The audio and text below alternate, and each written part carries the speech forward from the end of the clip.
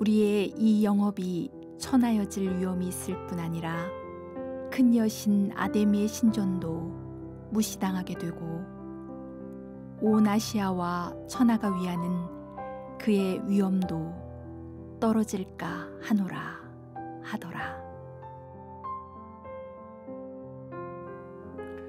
세상에서 가장 위험한 직업이 무엇이라고 생각하십니까?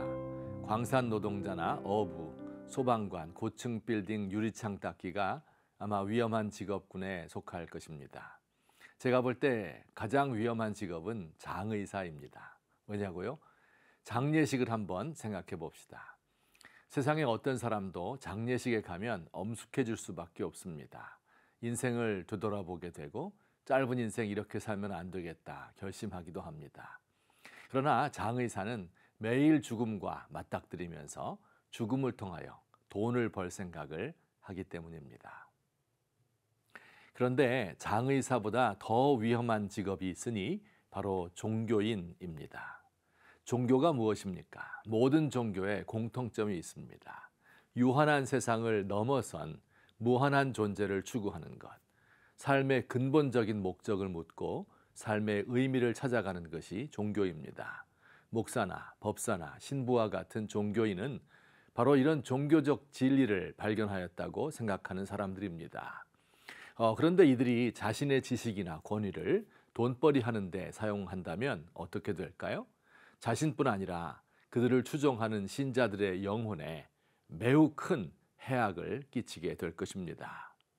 이런 엉터리 종교인을 종교 사업가, 종교 비즈니스맨이라고 부를 수 있을 것입니다. 오늘 성경에 종교 비즈니스맨이 하나 등장합니다. 그 이름이 데메드리오인데요. 그는 에베소시에 아르테미스 신전 모형을 만들어 파는 은장색 동업조합의 대표입니다. 에베소시가 자랑하는 엄청난 규모의 아르테미스 신전의 모형을 은으로 만들어 아주 비싼 값에 팔아 많은 이익을 남기고 있었습니다. 그런데 사도 바울이 사람의 손으로 만든 것은 신이 아니라고 가르쳤고 많은 사람들이 이 사실을 받아들였습니다. 그의 신전 모형 만드는 사업이 타격을 입게 되자 데메드리오는 조합원들과 직공들을 모아 이렇게 말합니다. 여러분도 아는 것처럼 우리의 풍족한 생활이 이 생업에 달려 있습니다.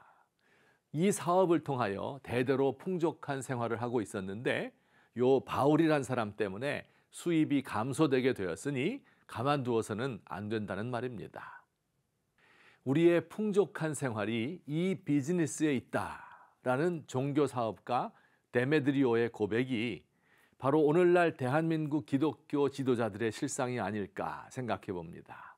젊었을 적 복음을 위하여 헌신하였는데 복음 때문에 풍족한 생활을 하다 보니 헌신과 봉사를 잃어버린 사람들이 얼마나 많은지 모릅니다. 자신이 가진 특권과 유족한 생활에 집착하고 자신의 이익이 침해당하면 법적 대응을 합니다. 종교 사업가에게는 파트너가 있는데 바로 종교 소비자입니다. 데메드리오에게도 고객들이 있었습니다. 신상 모형을 사서 숭배하는 순례객들입니다. 로마 제국 각지에서 알테미스 신전을 참배하러 온 사람들은 비싼 값을 주고 은도금이 된 신상이나 신전 모형을 사서 자기 집에 모시고 그를 숭배합니다. 그 신전 모형이 자신에게 복을 가져다 준다고 믿으면서 말입니다. 오늘날 기독교인 가운데도 종교 소비자들이 있습니다. 하나님을 진정한 구원자요, 우리의 왕으로 모시는 것이 아니라 그저 종교심을 만족시키는 분으로 생각합니다. 소비자들이 상품을 살 때 가격 대비 성능, 즉 가성비를 따지는 것처럼 종교 소비자가 된 교인들도 이런 원리로 교회를 선택합니다. 자동차를 살 때처럼 질 좋고 값싼 것을 좋아하고 콘서트장을 선택하는 것처럼 흥미로운 예배, 사람들을 즐겁게 해주는 목사를 찾습니다. 낯선 곳에서 식당을 고를 때처럼 사람이 많이 몰리는 곳을 택하지요. 쇼핑몰을 선택할 때처럼 환경이 좋고 주차 시설이 가장 편리한 교회를 선호합니다. 동네 구멍가게보다 대형 마트에서 쇼핑하는 것처럼 크기를 보고 교회를 판단합니다. 에베소는 데메드리오라는 종교 비즈니스맨이 있는 곳이었고 또한 종교 소비자들이 가득한 곳, 종교 사업이 성행하는 곳이었습니다. 그 사업이 방해를 받게 되자 사업자도 소비자도 모두 분개하였습니다.